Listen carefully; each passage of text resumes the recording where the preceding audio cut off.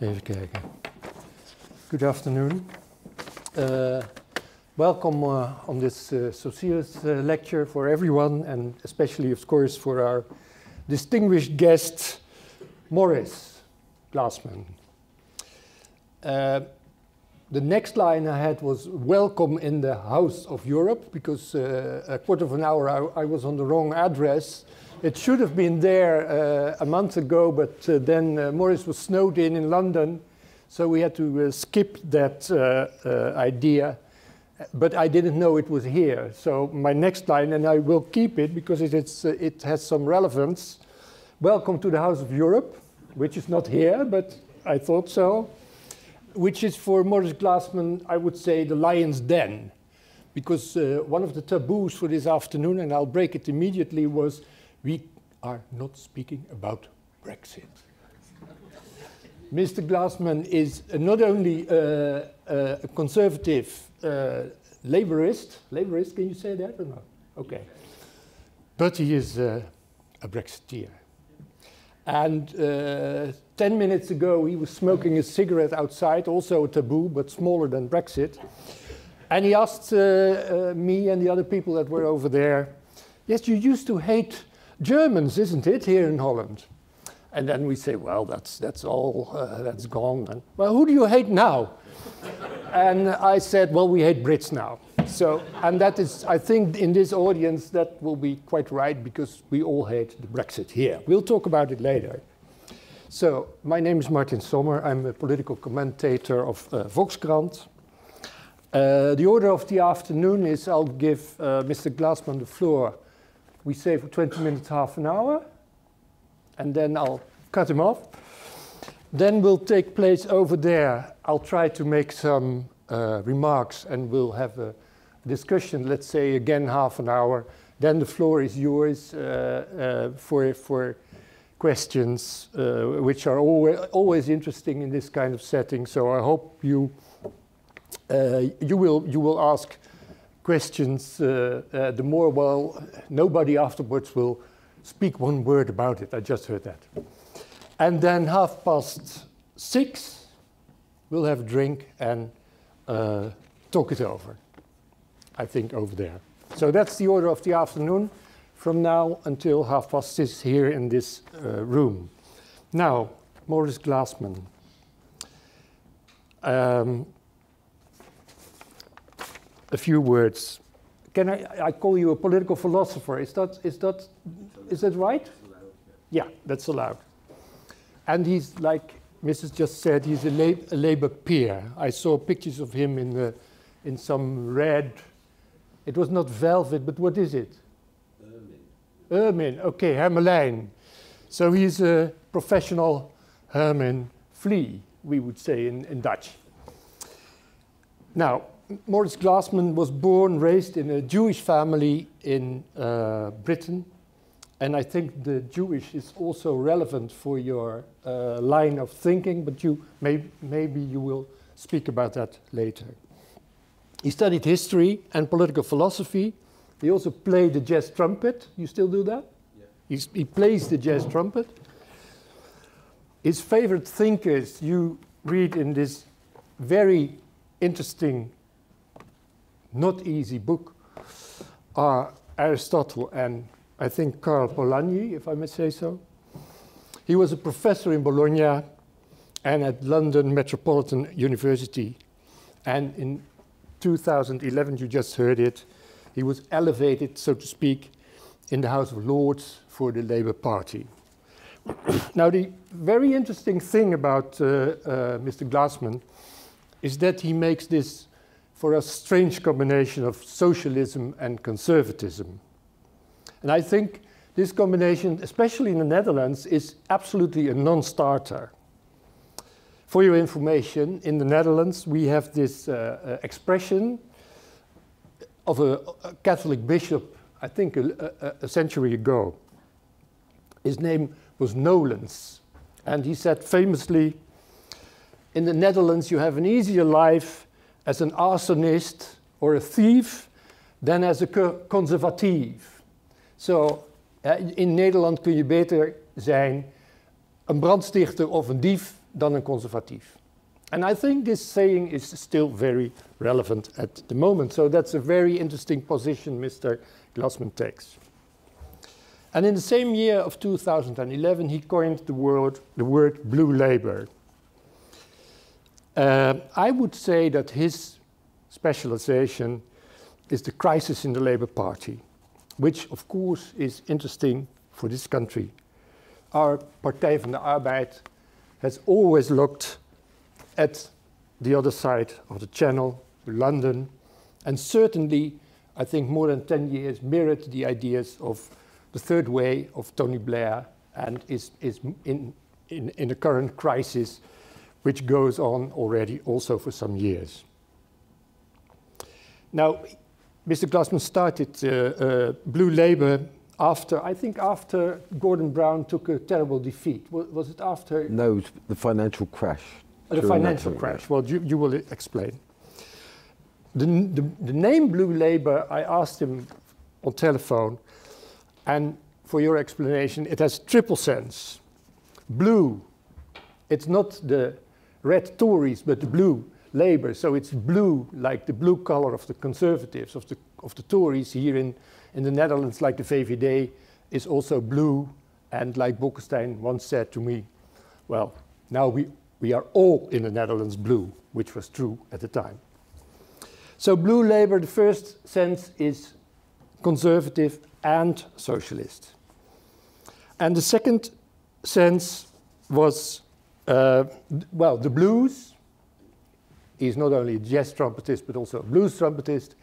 And the blues means things are not going well, ladies and gentlemen. And the third sense was like a joke.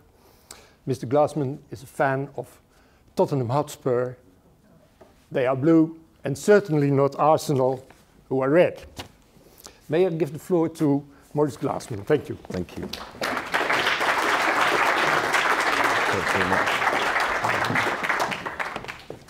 Well, I haven't got too much more to say, so uh, thanks a lot. And I really, really appreciate you coming out on such a, a cold evening. I know, I know that with Brexit you thought that maybe you'd be liberated from British politics, but here I am, and uh, it, it's very good uh, to be with you. Um, and, and I just want to say that the very beginning, on a very political, moral point, is is that the the um, the war in Ukraine happened after I wrote the book, and I am proud of my government that they've taken a very strong position in support of Ukraine, and it, it is noted most certainly um, that your government has done the has done the same.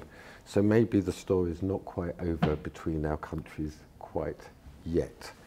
Um, whether we're in the House of Europe or the condominium, who can, who, who can say? But I also want to say uh, thanks to Cecilia's um, for, for all, all that you've done. Um, there's a very, very, very strong alignment between my ethics and politics and, and what you do.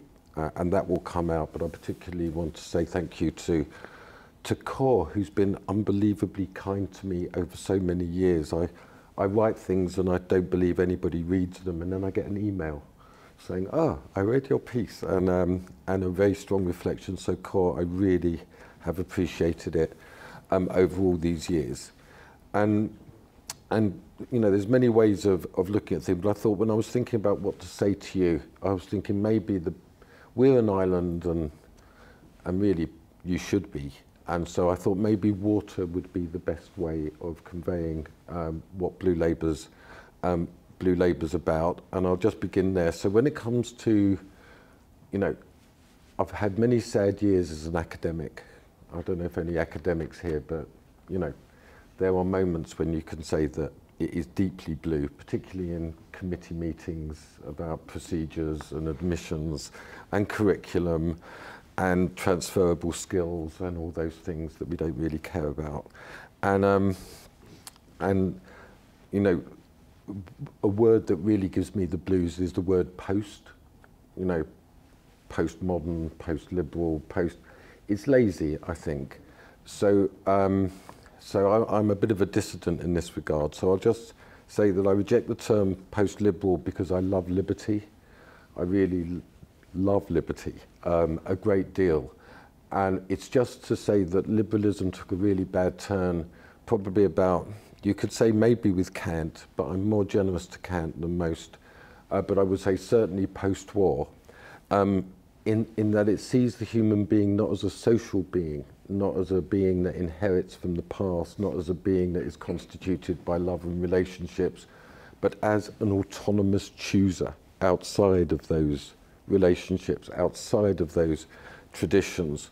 Um, so in that sense, I've always tried to distance myself um, from those two words, both post and liberal. You know, um, um, and I'll try and explain what all that's about and and what Blue Labour. So just to carry on with the idea, just to give you an idea of what it's like, because you're right, it sounds a bit confusing and and England is a strange country, just as you probably know. And I know that you, uh, that a lot of that comes from the television, and then you actually meet English people and you realise it's all true. But um, but in in in Britain, we didn't have this divide between um, the secular and the religious within the labour movement.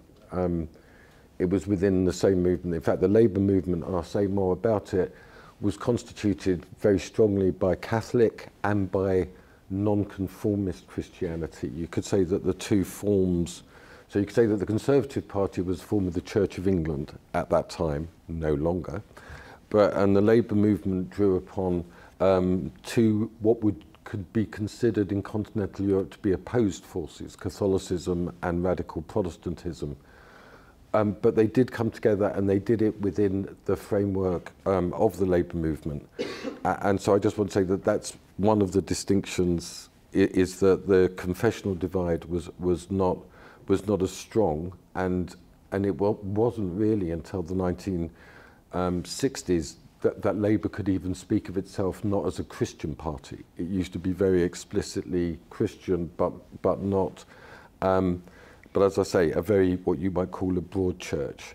So I just want to talk about that a bit and talk about uh, the way I see. So view, view Blue Labour as a river, right? Okay, so it's a river. And let's say that there's three tributaries to that river. I mean, there's, there's many more, and in nature it moves like that. But I just want to talk about the three main currents that flow into the, flow into the river. And the first is most certainly um, from the Bible, and that's the fundamental idea. You know, I used to get a, into a lot of trouble in the Labour Party when it started because they said, what's all this religious stuff? It's all sexual abuse and patriarchy and the oppression of people. And I would say, well, at least religious people don't think that the free market created the world, you know, that there was something maybe anterior to that. And deep in the mix is this idea that human beings and nature are not commodities. They're not produced as commodities. They're inherited, and we can talk about all the but there is an element of sacredness to nature and to human beings, however we wish to conceptualize that. Um, and, and that is fundamentally um, the idea behind it. And then the idea is, is that one of the big ideas that, that we argue for is that society has become contractual, um, very utilitarian. You, you meet people for specific reasons, and, um, but we need to renew the idea of a covenant, of a binding moral and political set of relationships um, within which we can disagree and within which we can have our political arguments, but, but nonetheless that we are bound um, together, uh, and it's not altogether chosen by the individual, that you inherit certain obligations um, from the past. So I can talk more about that as we go on, but certainly uh, the renewal of the idea of covenant that comes from the Bible, but most particularly uh, Catholic social thought is the fundamental thing. I wrote my uh, PhD, my, my doctorate at the European University Institute in Florence. So you can see I'm a double heretic in my, in my politics. And, I, you know, Rhineland capitalism that you're talking about, you know, this was a wonder to me. What happened, particularly after the war um, in Germany? How could it be that there was this Mitbestimmung with the representation of workers on the boards? How could it be that there was this vocational training system, you know, the handwork system, where, where you weren't allowed to enter the labour market until you'd gone through the vocational training and all those things. How could it be that there were all these regional banks and there was and there were sectoral specific banks? This wasn't exactly capitalism as I as I understood it. Um, and I was trying to my PhD that I was doing. I you know I, I my first political big political engagement with was the solidarity movement in Poland. I mean, that's how old I am, is, you know, a, a Catholic trade union took on communism and won. You know, this was an incredible, but then I realized, you know, that Goldman Sachs was a lot more powerful than the Catholic Church when actually Poland came to its transition, shock therapy, free market, what I call market Leninism, the absolute destruction of the trade union, the elimination of any sense of place, the certainly no representation um, of workers, the abolition of all the forms of vocational training. Uh, so my, my PhD is called, it's published as a book quite a while ago, it's called Unnecessary Suffering. That was how I conceptualized um, all of that. But what I realized when I was um, doing my PhD um, was this that it was far more Catholic than anybody in the textbooks was telling me. That, um, I, that was for sure. So, that, so I discovered Catholic social thought. I know that Laudato Si is, is beloved of Saussures. I just want to say that for me, um, Centesimus Annus and Laborum Exercens are the magnificent encyclicals if anybody is ever interested in reading papal encyclicals, particularly Laborum Exercens on human work which is a magnificent validation of labour, of the meaning of labour um, and, and the sacred nature of labour. And, and the way that that works within uh, blue labour uh, politics is essentially uh, three, well, you could say four principles um, of Catholic social thought that frame what we do. Um, and the first is this idea of subsidiarity, which is a very strong stress on power being exercised at the most local level commensurate with function. Um, that's a, because what we find, and we found very intensely under Thatcherism, and then we found very intensely under uh, the third way New Labour experience, was that both capital and the state centralise. They concentrate and consolidate what we had in our country was that all the wealth of the country was sucked into the city of London. And then in 2008, that's when Blue Labour was born, they said, oh, sorry, we've invested it all and it's all gone.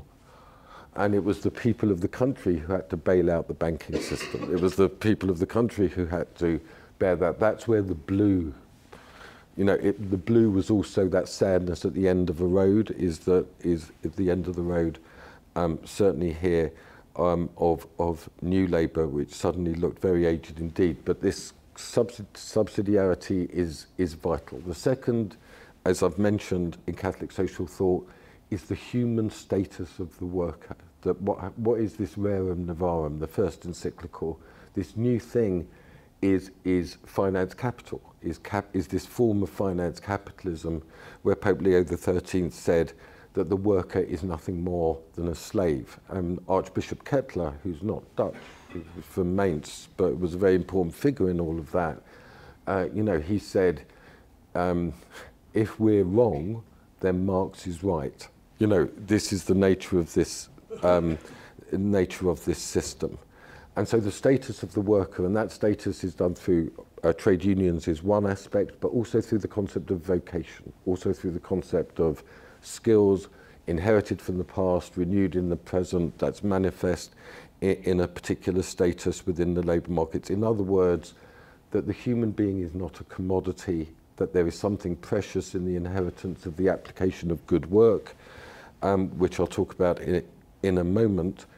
Um, and so the status of the worker goes beside the sun. And then the third concept, which is, which is vital, is solidarity itself. The idea that there is an obligation within a political community or any form of civic community for there to be a mutual responsibility and certainly a priority for the poor um, within that. And the fourth is, is, is the stewardship of nature, is that nature as well, creation itself, so looked at in stark terms, um, capitalism wishes to commodify creation itself. It wishes to turn human beings and nature So for me, I always understood democratic politics as the way that you resisted that, tempered that, tried to um, restore some form of human status for the things that capitalism wishes to do, but just to cut a very long story short, uh, the state is not really better than the market in this regard because the state tends to administer people, dissolve relationships, dissolve status, become extremely procedural, So the general historical analysis of blue labour is that over the last hundred years, and there's been very many resistances of very many ugly and not ugly kinds, is that the market and the state become the two dominant systems, and society, societies, società, just begins to disintegrate, uh, and all the civic forms uh, begin to atrophy because they become dominated by either considerations of profit or considerations of power. Um, so the preservation of society, I think, um, is is a sacred task for uh, for both of us. But I just wanted to recognise the extremely important role um, the Catholic social thought um, plays uh, in the political theory of Blue Labour. The the second tributary that runs through it is more classical and really goes back to Aristotle. Um, and it's the idea that, that, that we are social beings, that we are, we are not individuals outside, that we are born into um, a set of relationships. It's vital to have liberty eh, in order to work out the meaning of our lives. Um, but the starting point of the theory is certainly that we are born weak, vulnerable, dependent creatures, dependent on others for our flourishing. And that's a very um, important Aristotelian strain, uh, as well as, Martin, the Aristotelian idea, this is the whole Plato-Aristotle argument, Aristotle argued much more that you work within the values, the, what he called the doxa of your community, of your society, that you that politics goes on um, when when you work within that and you don't take a position um, outside of that. Um, I would say that we've drawn very much on on how that subsequently developed, not only with Aquinas but also with Machiavelli and civic republicanism and self-governing cities. It's a much more secular form of democratic self-government that emerged from within that tradition. Um, and the third tradition, which is absolutely fundamental, is the labour tradition itself, is the tradition of the labour movement, which was that workers who found themselves completely deprived of their status, um, thrown into a pauper's grave when they died, um, expelled from the land. In England, we had the enclosures. They were just pushed off the, pushed off the land into the industrial cities. Well, they did something quite miraculous, and certainly um, I can talk about that from, from my country, is that the first thing they did was that they built burial societies.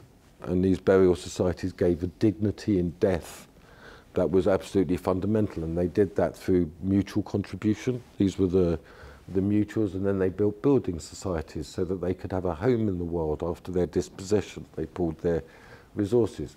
They built, um, they built uh, trade unions. They renewed local democracy. And this was all done on this ideas, these ideas, as I say, that were, were, were also as deeply Christian as they were secular within within my country.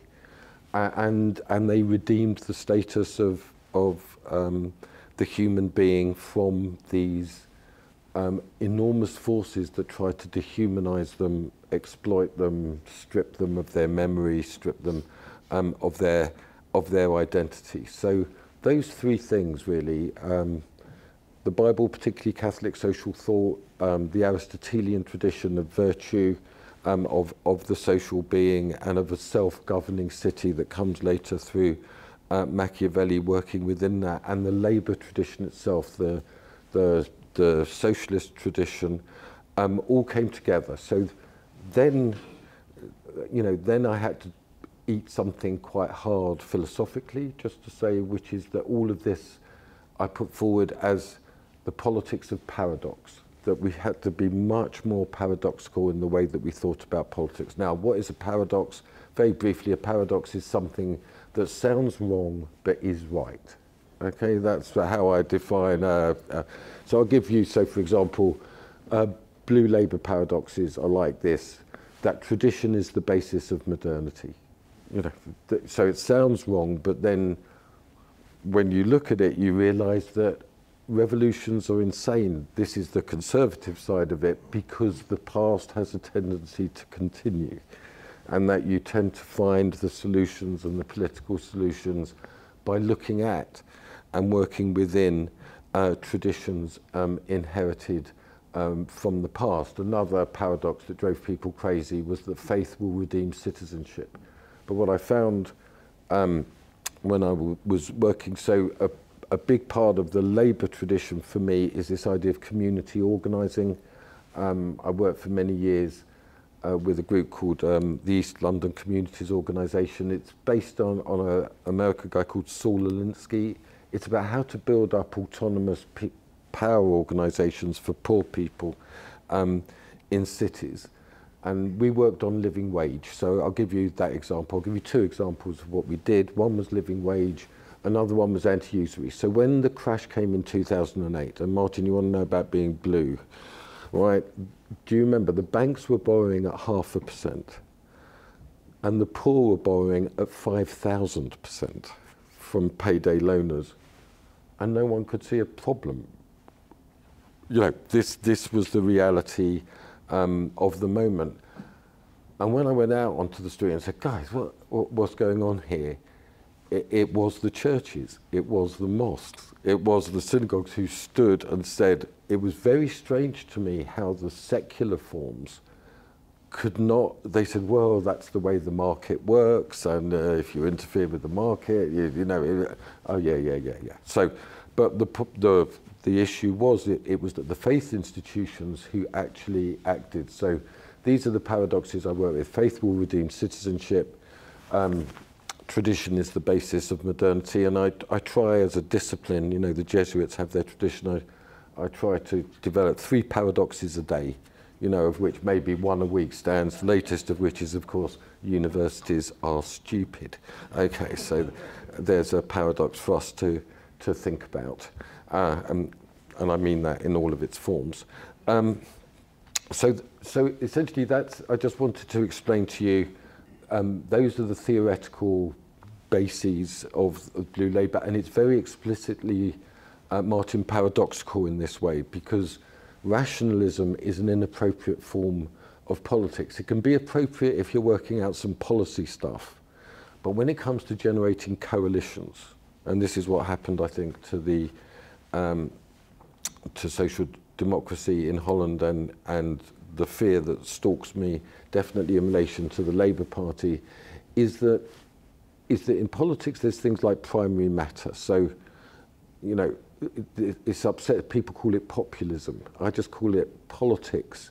So, so in England, you know, it's as if the Second World War ended yesterday. You know, it's still a living memory in in people's lives. I mean, the Norman conquest is still alive.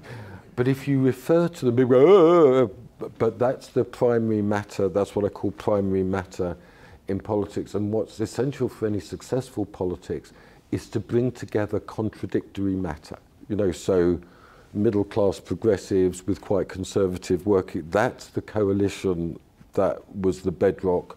Um, But what I witnessed, and this is what I want to go back to the birth of Blue Labour, Martin, with, with in 2008, um, was that Labour had become completely disconnected from working class lives and concerns. It had become almost entirely urban, captured almost entirely by a concept of globalisation that it considered inevitable, in which working class played no meaningful role other than sort of like Native Americans on a reservation, people who should be given some welfare, maybe uh, an extra budget for the school for literacy, so that everybody could go to university, so that everybody could be socially mobile, so that everybody could gain the benefits.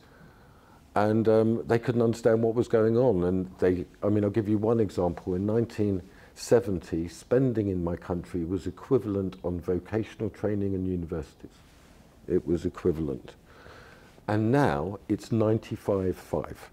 All the money goes to the universities. That's the idea that you go to university and that completely, and then they're told, well, yeah, but we need very large levels of immigration because we've got no carpenters, plumbers, bricklayers, you know, because there's been no training whatsoever for those. What I'm saying is, is, is that there was a, an abandonment of, of the working class by labour. This is a central, and that to restore a relationship between the two sides required something that you might say um, paradox was a paradoxical imagination was required to do that. And and that explains all the different forms um, that that Labour took. And I, I'll just go you know further to that is is that we argue very strongly that there is a big difference between globalization and internationalism that globalization is accepts the dominion of finance capital as the deciding distributive factor concerning resources and sees any challenge to that as populist, wrong, diabolical, awful, terrible, wicked, and all those things that you thought about Brexit. And, um, and in contrast, we saw some notion of restoration of democratic accountability of elites as absolutely fundamental if there was going to be any healing in the in the politics. In other words, that there was a an unaccountable um, financial and political world that despised poor working class people. That's how I would describe the scene roughly in 2008 and 2009. And if you take that analysis, then that would explain in a much more rational way the changes in the politics that have, have gone on since, which is just about some sense of, of restoring some forms um, of accountability. Now, remember, I'm a politician and I'm an academic, which means, technically speaking, I can talk for hours and hours and hours. And talking about my own stuff, well, the temptation is diabolical. So I'm, I'm, I'm getting the message from your fingers, Martin, that I have spoken enough. What I do want to say before I start is that I hope that this is the beginning of a conversation. I really would love to know what you think to, to begin this relationship with Socires, but also um, people here. I'm around today, I'm around tomorrow, and I would just love to begin a conversation about politics and about the meaning um, of, of a meaningful politics. And I just wanted to give a brief introduction to what the motivations um, are for the politics that I'm doing. So thank you very much.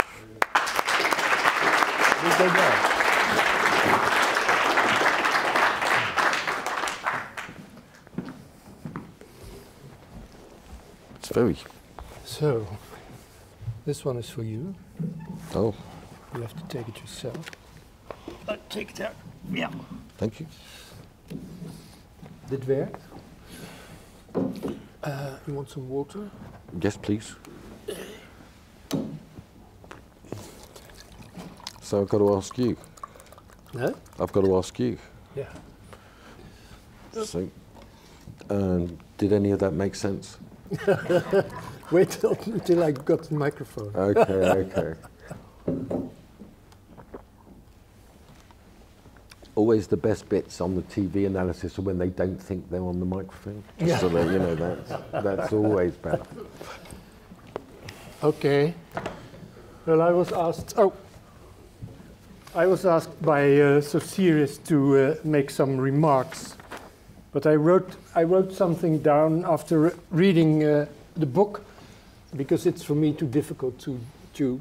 À bout pourtant, my French is better than my English. Shame on you. To, Shame on you. to give a reaction. So, so I, I made some remarks uh, on paper, but we, we can start with a strong paradox. So there is definitely uh, a reaction on what you just said.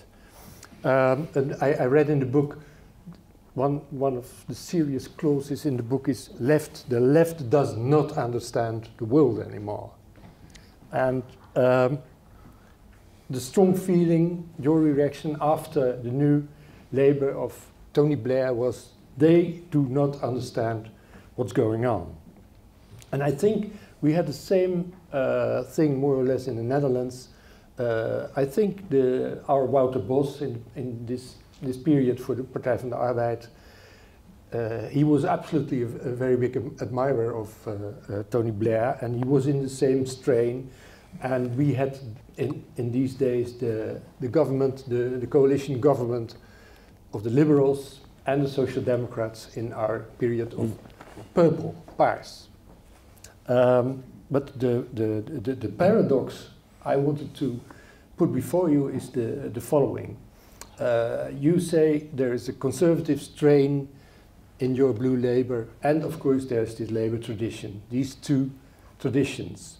And you, you speak in the book, what I liked very much, about one, one of the guys that uh, inspired you, not only Aristotle, but, but also Edmund Burke. Mm.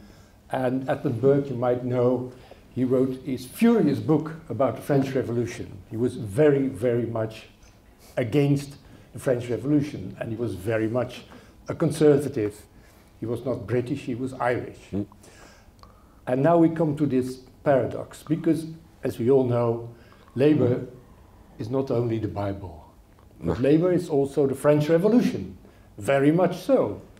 And labor is also let's say, the, the, the, the beginning of the individual, which to a certain extent is an invention of the French Revolution. We were not anymore the, the, the, the, the estates, the standen of the period before the French Revolution, but since the French Revolution, we, were, we had become all individuals. So now we have, on the one hand, this conservative strain in your idea, mm -hmm. And on the other hand, there's the strain of the French Revolution. In my view, this, there is at least a paradox.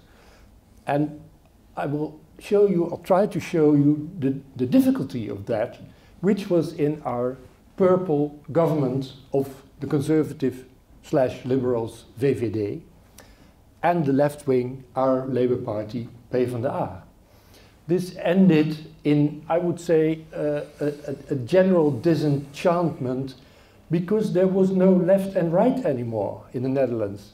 One could not choose anymore. And then the people that you call uh, polit political people, the, the populists, they took the, they took the role of the, of the opponents of the, of the, middle, of yeah. the middle road, so to speak.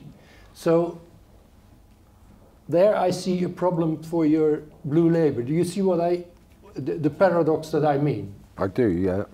Yeah, you're saying it's not a paradox, it's a contradiction, is, is what yeah, but uh, you say it looks wrong, but it's right. So that you're, yeah. you're going to argue that now.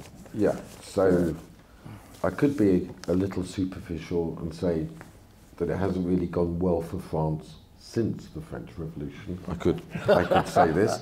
I could say that um, that they've been yearning for a king, you know, in various forms, yeah, um, that they've never really settled on a stable period of government. You could, you know, one of the things that I, you know, you mentioned earlier being being Jewish, and this is, I think, part of this story is that the gratitude I feel to my country for just being alive is is an amazing thing.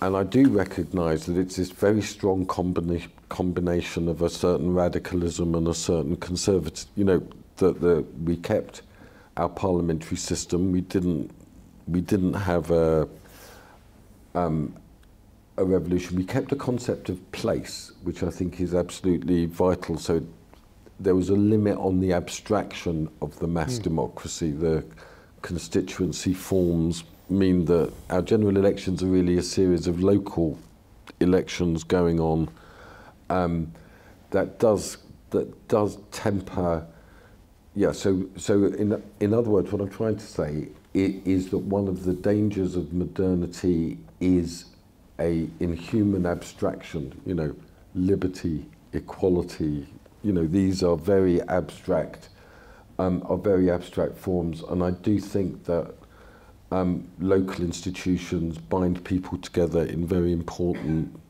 in very important ways.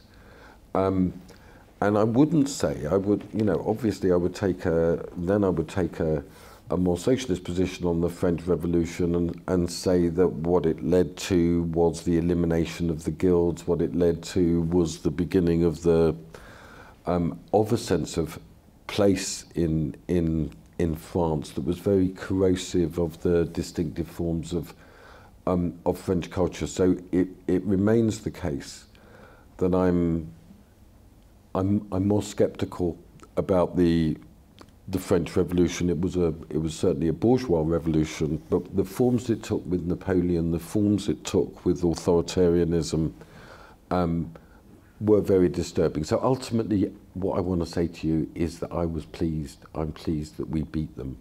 You know, that, you know that, that Napoleon was taken but to a very let, distant let me island. state the question even simpler. Yeah. In your view, you make a combination of socialism and conservatism. Yeah.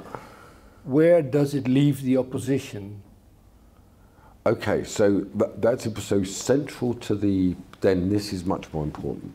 Okay, so in my work, there's a very big critique of conservatism, and this this critique goes right back to Burke, and is very much alive in my country at the moment. Is that conservatives in within the Anglo tradition did not see the revolutionary power of capital. And Burke was equivalent, he, he didn't like the French Revolution, he loved the American Revolution. You know, by the way, he thought that was magnificent, and one of the reasons he thought it was magnificent was the sanctification of private property and the, you know, these, these forms of quite strong um, liberal constitutionalism, which I would say um, are inappropriate. But above all, what, what, what's happened in my country, and you could see it with, with Thatcherism, the resistance to the domination of the rich, the resistance to the domination of the power of money was not present within that conservative tradition. So the reason why I, I stress the blue, uh, other than the sadness of my football team, was that also because of the left in my country had become so progressive, they despised what you might call everyday morality, you know, of family life, of mutual obligation. And when I used to say, but these are Labour things, people go, no, they're conservative. They're, they're, they're conservative things. So there was, a, there was an argument going on with me with two different things. There was an argument going I was having with the left on why are you so contemptuous of the ordinary life of people. Mm. Why, why do you wish to humiliate people to yeah. this extent? And then I was having a simultaneous argument with conservatives saying you're not conservative enough in your mm-hmm. protection um, of those things because of your embrace of a turbo capitalism that disrupts all forms of stable life. Mm-hmm. Um, so, yeah, Martin. But, but the, the, the question is still there because the points that you are making, uh, let's say cultural conserv conservatism, if I may yeah. restate it so, is re re retaken by uh, Boris Johnson, who, who won on that ticket yeah. uh, his, his election in, in 2019. So uh, if, if you would be completely logical, would, would you have to go over and say, okay, um, I have to confess I'm a conservative, so I have, um, Tories is my place now? Uh, Okay, the answer is no, right? of course. And, uh, uh, but th this is lived history. So what, what, you know, this is just a bit of, and forgive me for doing cultural translation. Um, from the period 1945 till roughly 1985, Uh, my party was historically, the Labour Party was historically anti-Europe, anti-EU, mm. right? Um, it was anti-EU because it considered it a boss's Europe, and you, there was nothing you, once you signed these treaties, there was nothing you could do politically to change them. They were outside of democratic control in this regard. Um, and then there was a flip. There was a flip. In the, in the party? Yeah. Mm. Um, Jacques Delors you know, social Europe and famous, and, famous Labour politician.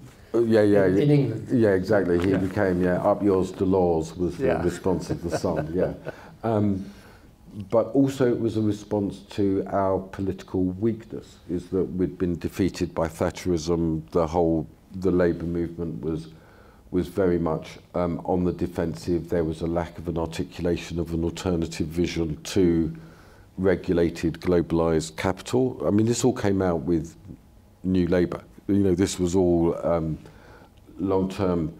Now, one of the things, what happened along that road is is a real disaffection by poorer people with the operation of politics. It wasn't just working class people. Poorer people generally asked the question, where do we fit into this politics? And the answer was nowhere. You just be quiet, go to school, be better people, go to university, be more liberal, and shut up. You know, that was roughly the. But they didn't take it that way. They took it as an offence and they took it. So, yeah, so that, that became the question. And what happened was is that the Conservatives then became the Eurosceptical party. That's mm -hmm. the Boris Johnson story. He said that there would be levelling up. He said that there would be a new model of capitalism. So my response to that was, oh, really? Well, let's see what have you got? Uh, and what are you, what what are you doing? So Blue Labour there really took a very active role in the debate. So we articulated these things that I talked about in the speech. So the first thing that we articulated was that there should be worker representation on the boards of all companies above 50.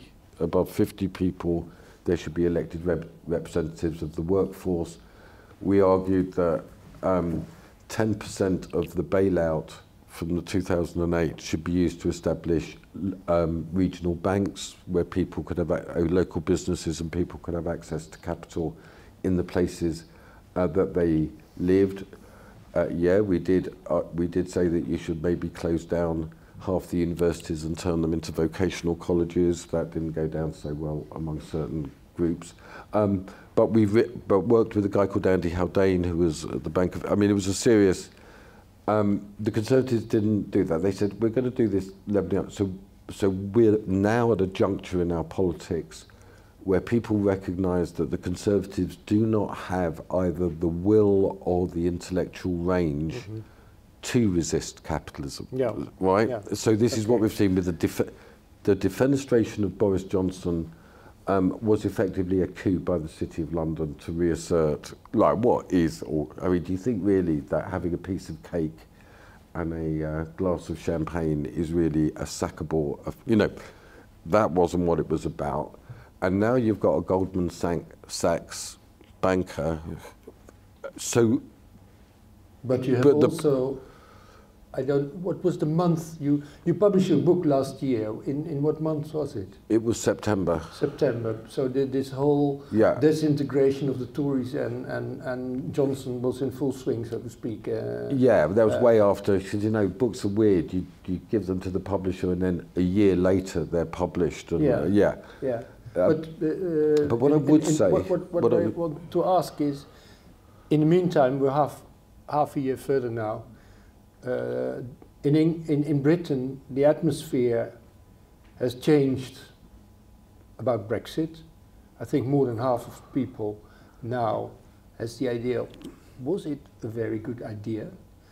And if you compare uh, the situation uh, of the workers in, in, in Britain with the workers in Europe.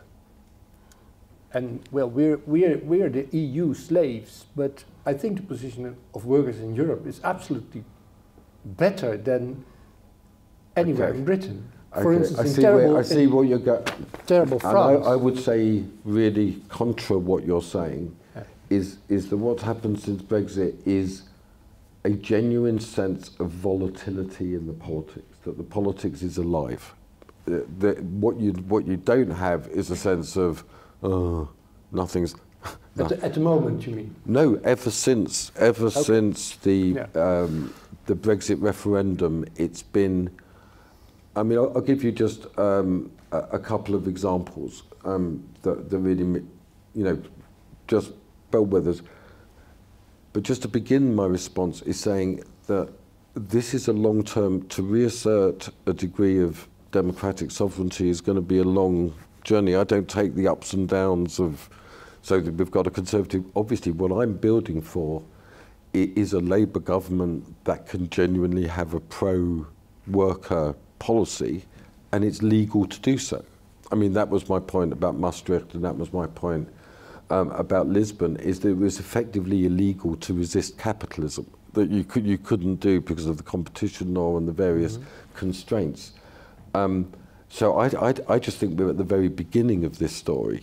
But what there is, is a, is a huge change in the temper and the tone of our politics. People get angry, they do things, things change. I mean, it's a small example, but it really meant something to me. Did, did anybody here follow this thing with the European Super League, this football thing?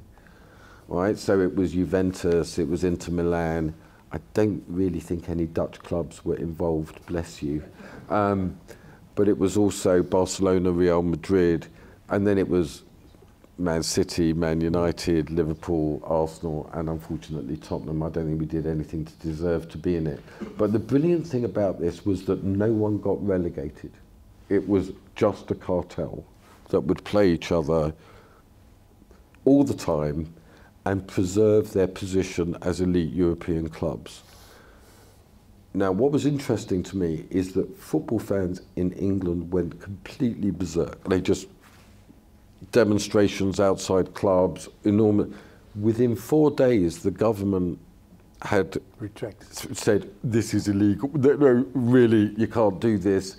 It's not going to happen. Mm. But in Italy and in Spain, not a word. Mm -hmm. And Agnelli, who was then so, now so, up for criminal so charges. idea, there's a new political uh, engagement. Uh, All the time. And this is going on. Uh, what I'm saying is, is the, the politicians, it's scary. I'm in Parliament and I see, the, see it happening. I'm not saying that the politicians know how to respond. You know, suddenly they are accountable for what they. It used to be the case, say, we can't do anything about that because of the EU and we can't do anything about that. They blame the EU. But now they are and it's very mm. scary for them and people are disintegrating and they don't know but what's essential about the politics that I'm putting forward is that it gives a framework for a better deal for certainly okay. for workers within well, let, me ask me your, my last question and then we'll go to the yeah. room uh, I, that's the same question sure. I asked you on the telephone because we have in the Netherlands a party more or less along the lines that you propose which is the Socialist Party, the SP, uh, with a, a, a, clear conservative strain in it, with uh, uh, concern for the, for, for the daily troubles of, of the people who have a tradition of going from door to door and asking people for their concerns. So they, and they have a, a kind of cultural conservatives, conservatism, and on the other hand, they're quite radical socialists. Yeah.